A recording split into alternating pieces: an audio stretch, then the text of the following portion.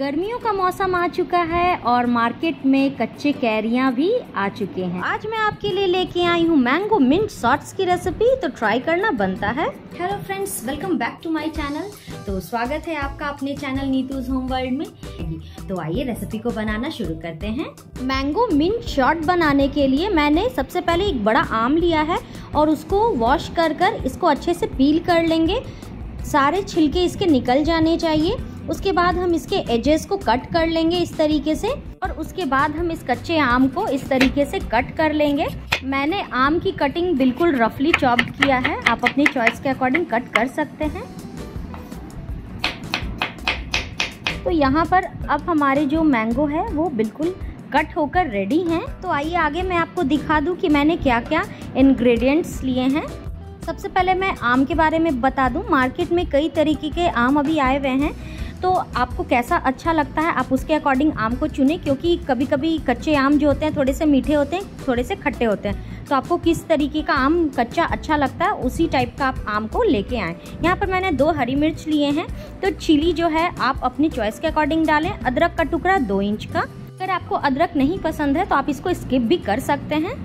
यहाँ पर मैंने मिश्री लिया है, ये जो शुगर कैंडी जो आते हैं, अगर वो आपके पास अवेलेबल नहीं है तो आप चीनी या फिर हनी का भी यूज़ कर सकते हैं। इस सॉट्स में चीनी का कॉम्बिनेशन बहुत अच्छा आता है। अब यहाँ पर मैंने जीरा पाउडर लिया है, काला नमक लिया है, इससे भी बहुत ही अच्छा फ्लेवर आता है, चटपटा सा।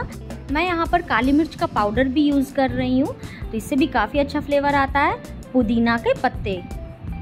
आइए रेसिपी को स्टार्ट करते हैं। तो सबसे पहले मैंने यहाँ पर एक प्लेट ले लिया है, कोई भी नॉर्मल सा प्लेट ले लें। और इसमें वन टीस्पून नमक और वन टीस्पून लाल मिर्च पाउडर। तो अब इन दोनों का यूज़ क्या है, मैं आगे की वीडियो में आपको बताऊँगी। अभी फ़िलहाल इसको एक साइड पे रखते हैं और एक जार लेंगे और जार में हम ये सारे अपने कच्चे मैंगो जो हमने कट किया था उसको डाल देंगे। और मैंने यहाँ पर एक ग्रीन चिली का यूज़ किया है, यानी कि एक ही हरी मिर्च मैं इसमें डाल रही हूँ। बारह से पंद्रह पुदीना के पत्ते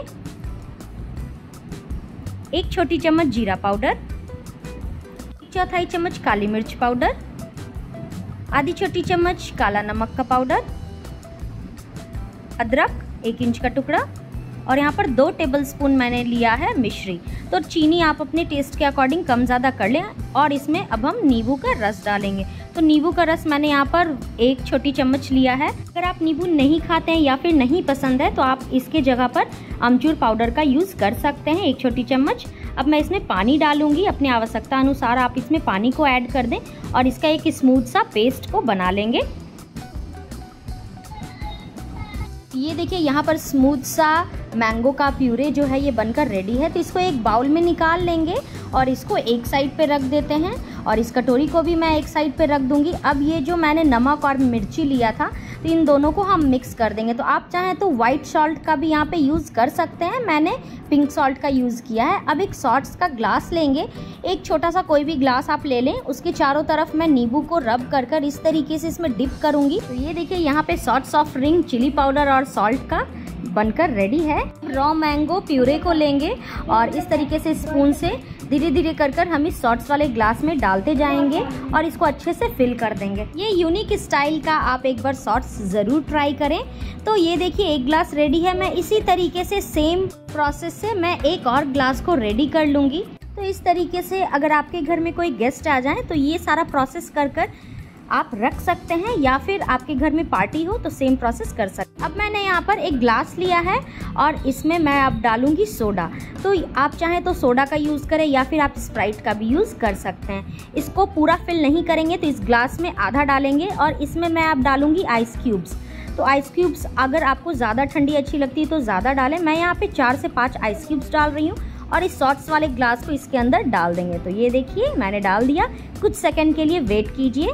ये देखिए, यहाँ पे हमारे मैंगो मिंट शॉट बनकर रेडी है। तो इसे अभी हम गार्निश करेंगे। Mango mint shot ready to drink तो इसको आप ठंडे ठंडे सर्व करें। अगर आपके घर में कोई गेस्ट आ रहे हैं तो इस तरीके से मिंट लीव्स को डालें और लेमन स्लाइस से इस तरीके से गार्निश करें। और ये देखिए, झटपट से हमारे मैंगो मिंट शॉट जो है, ये बनकर रेडी है। बहुत ही टेस्टी और अमेजिंग लगता है। वाओ नाइस तो आप भी एक बार ज़रूर ट्राई करें। आई होप मेरा ये रेसिपी आपको पसंद आया होगा। मिलते हैं नेक्स्ट रेसिपी के साथ। तब तक के लिए टेक केयर बाय बाय